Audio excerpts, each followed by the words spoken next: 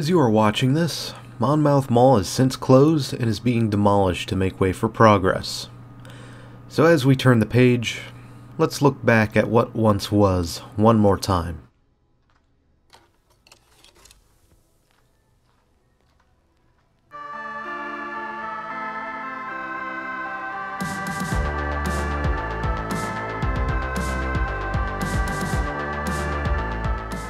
Monmouth Mall actually goes back quite a ways.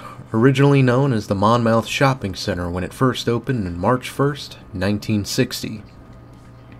It would have been a humble outdoor mall with Bambergers and their tire shop, Franklin Simon, Food Fair, SS Kresge, AS Beck Shoes, Chandler Shoes, Lerner, Milmar, and Reed's. And that was just what you could shop at after witnessing the balloon barrage on the grand opening. Montgomery Ward was expected to open its largest store on East Coast in mid-May, and more smaller stores and services were expected leading up to that month. It was expected to employ upwards of 2,000 people.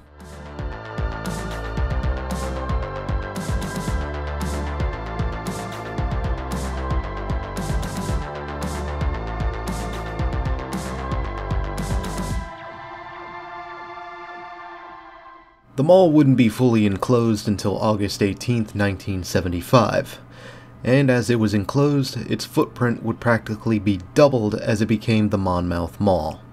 New tenants would be found, and while Montgomery Ward left the mall, Alexander's department store would take its place, while Hahne's would open ahead of the new mall, with JCPenney and Abraham Straus arriving later. And this would be the layout we're all familiar with today with the original footprint being a single floor and being an intermediate point between the two floors of the new space.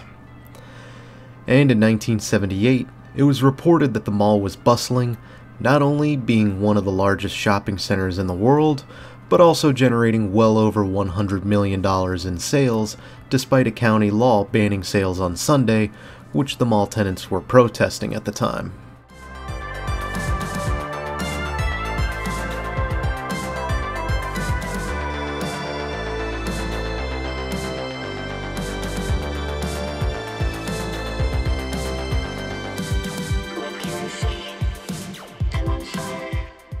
Alexander's would close in 1983, citing traffic flow as the issue. The company and clerks alike stated that customers would either only come to the store and go, or they would go into the mall using the store as a pass through without buying anything. When Alexander's closed up, Caldor would come in to take its place in 1986, and in 1987, a renovation was carried out on the mall to update its image with new, more modern fixtures, while also removing many of the fixed planters and an entrance in the old wing.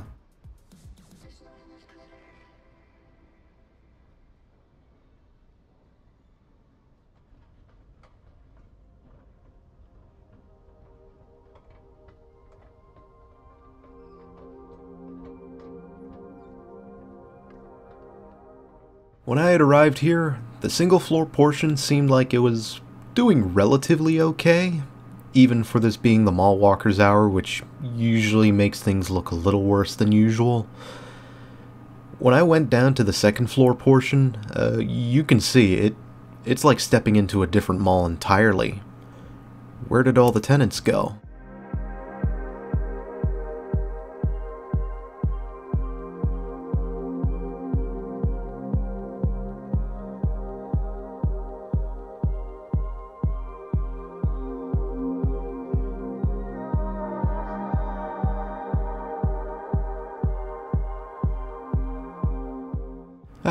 Here they are. Well, here they were.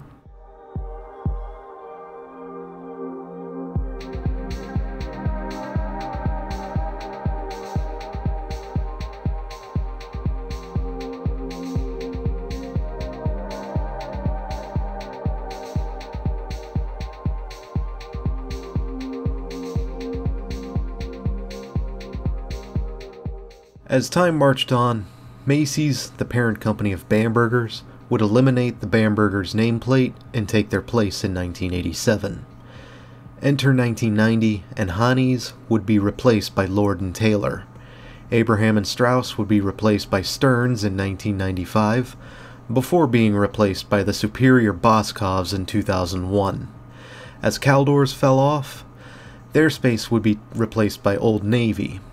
But over the mid 90s, another renovation would be carried out to bring in a new elevator for the multi floor section, a large 15 screen movie theater, the Wiz, and even a food court originally themed after the Jersey Shore. I hope it wasn't the TV show.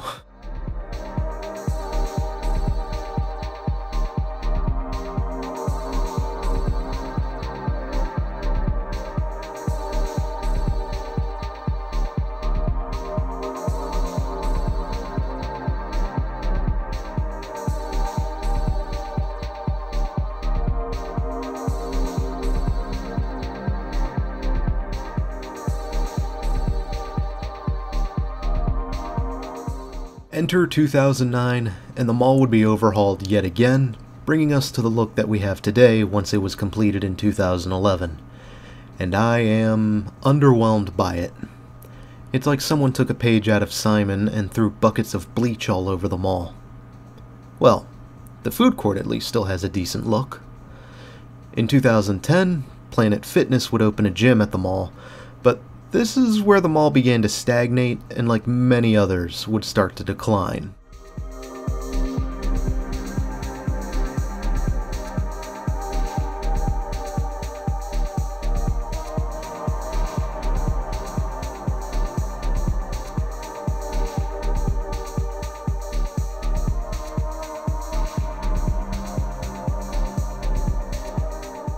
Monmouth Mall would see many owners in its time, while I haven't the specifics on who and when before 2015, when Kushner Companies would purchase partial ownership of the mall from Vornado Realty for the low, low price of $38 million, and Kushner Companies would announce a massive redevelopment plan to turn it into a pedestrian friendly live work play center. And I'm already disinterested in it.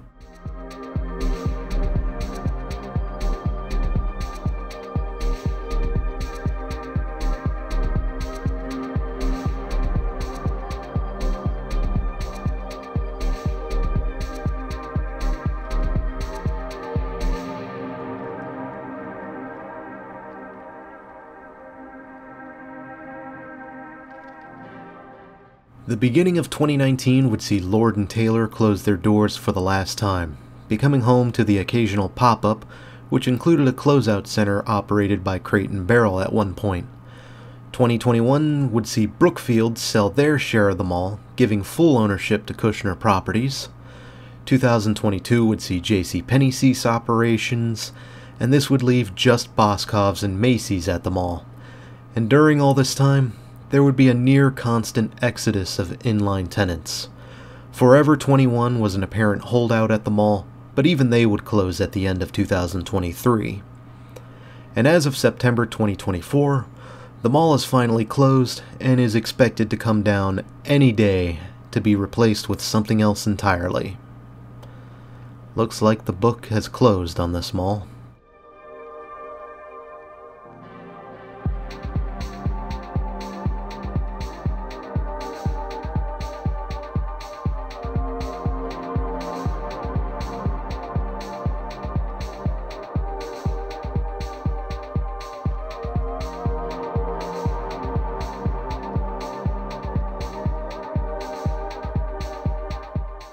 I've said my piece already on the overall look of this mall. The modern, almost all white look doesn't do very much for me.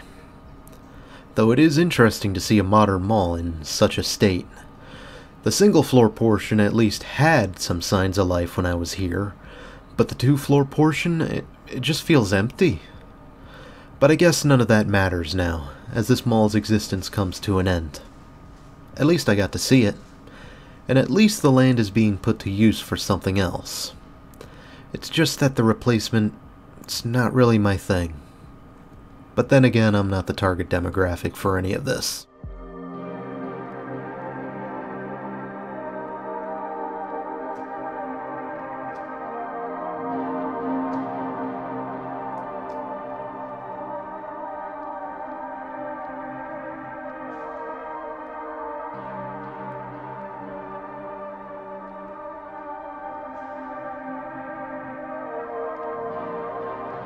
In the end, I am a bit mixed to see this place go. I still go to the mall on occasion. Gets me out of the house. But enough from me. What are your thoughts about the Monmouth Mall? Are you gonna miss it? Or are you happy to see it go? Do share in the comments below.